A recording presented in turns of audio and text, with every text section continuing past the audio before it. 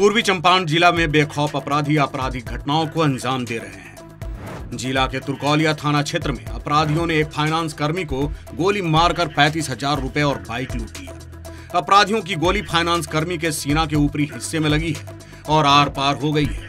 पश्चिमी चंपारण जिला के सिरिसिया थाना क्षेत्र का रहने वाला सिट्टू कुमार मुजफ्फरपुर में एक फाइनेंस कंपनी में काम करता है और वह अपने घर जा रहा था। तभी रास्ते में अपराधियों ने उसको गोली मारकर लूट ली जख्मी फाइनेंस कर्मी सिट्टू कुमार ने बताया कि वह छुट्टी में बाइक से मुजफ्फरपुर से अपने घर सिरिसिया जा रहा था। इसी बीच तुरकौलिया थाना क्षेत्र के बिरतिया लोकनाथपुर के पास एक बाइक पर सवार तीन अपराधियों ने उसको रुकने का इशारा किया, लेकिन वह रुका नहीं और गाड़ी तेज चलाने लगा, जिसके बाद अपराधी सिट्टू के ऊपर फायरिंग करने लगे। इस फायरिंग में एक गोली लगने के बाद वह गिर पड़ा।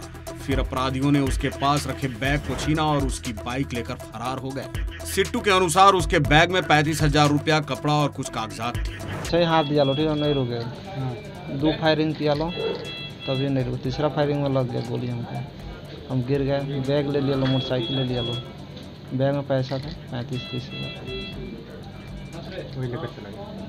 मोटरसाइकिल वहीं ग्रामीणों की सूचना पर पुलिस मौके पर पहुँची और जख्मी युवक को इलाज के लिए नर्सिंग होम पहुँचाया गया। फ़िलहाल पुलिस ने जख्मी युवक का बयान लिया है और अपराधियों की गिरफ्तारी में जुट गई है। देशवा न्यूज़ के लिए मोतिहारी से ब्रजेश कुमार झा की रिपोर्ट।